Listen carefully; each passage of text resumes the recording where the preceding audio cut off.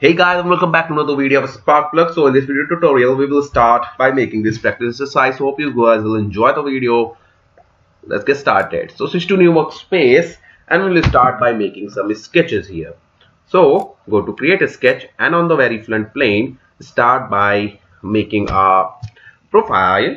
Uh, let's say from here a line vertical and press D for dimension and make it 15 in length a smaller one. Press L again and from here to here make a line of 200 mm like this. Now press L again and one one with 75 mm in length. And from here to here make line like this and join this point.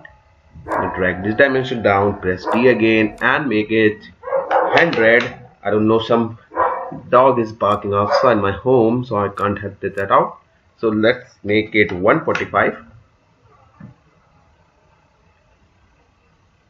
yeah 145 seems fine. And this dimension was let me think about that. Uh, this dimension was I think 75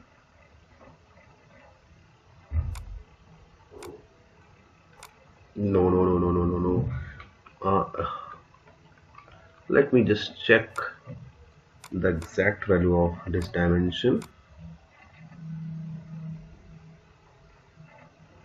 Let me just check I forgot the uh, value of that dimension. So okay okay okay okay okay okay okay. So this is already constrained you don't need to check and make that out. So just from this point just delete this line and this line. Okay just undo it. Now delete this line and press L again and from this point to this point. D again and make this 100 now if I just right click on this point and make it fix you guys can see the sketch is already fully constrained. You don't need any uh, uh, particular dimension here.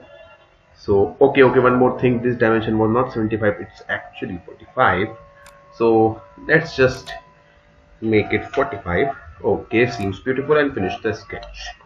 Now once done extrude it in any direction you want. And the distance is going to be 100 mm press shift and n to enable the color like this. Beautiful. Now go to construct. And there is an option called plane and angle. So this is going to be our line and I'm going to construct a plane at 45 degrees. Like this.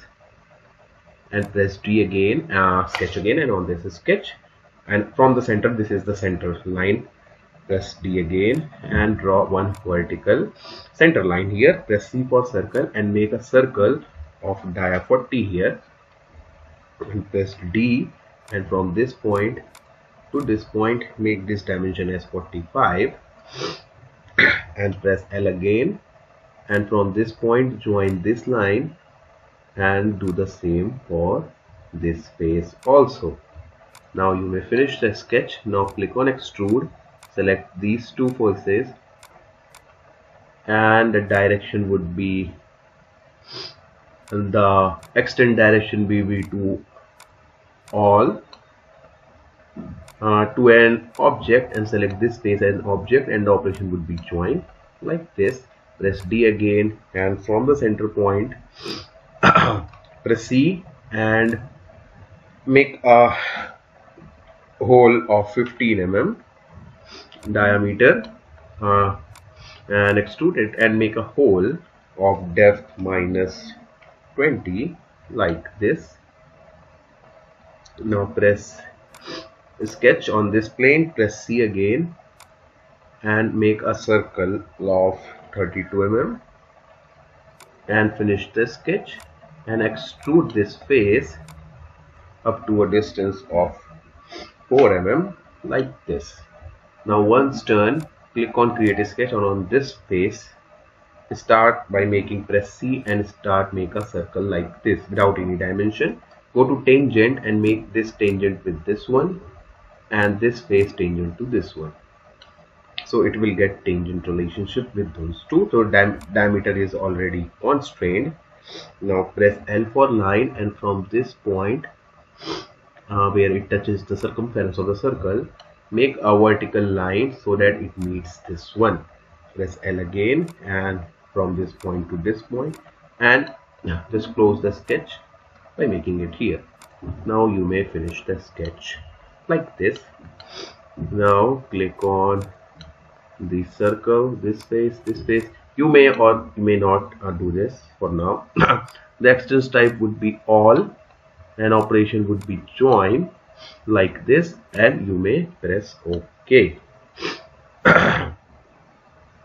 Now press C again and on this very face center draw a circle of 20 mm dia.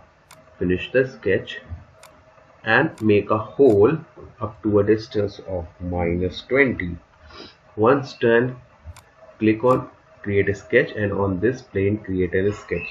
Press C for circle and make a circle like this. Now make it tangent relationship with this line. Now you may drag it like this. And the coincident relation between this point and this point. Now press now you may decrease or increase the uh, size of the uh, curvature here. So drag it like this press D again and the dia is going to be 205 and press enter. And finish the sketch. Okay okay one more thing.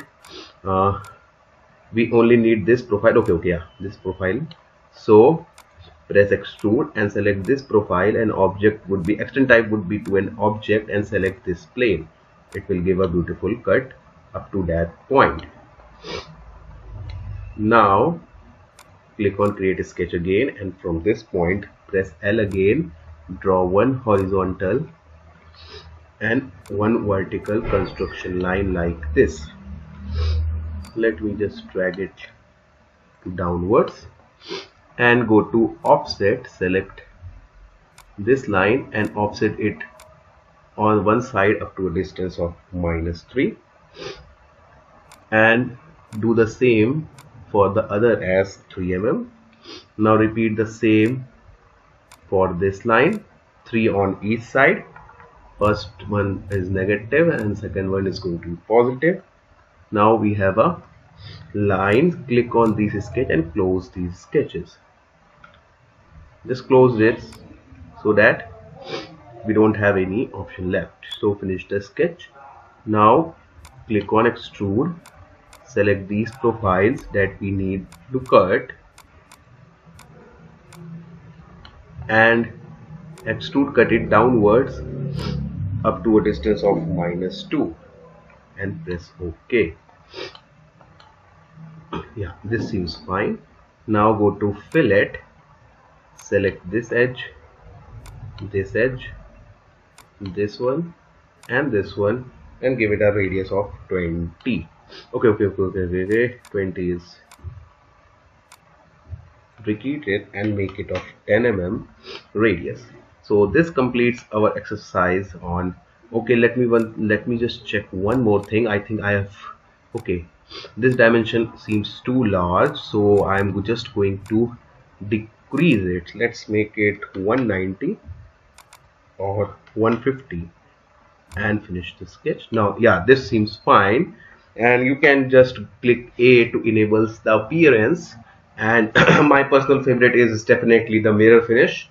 So uh, you guys can check that out. That is my personal favorite. So search mirror clear and drag your cursor down.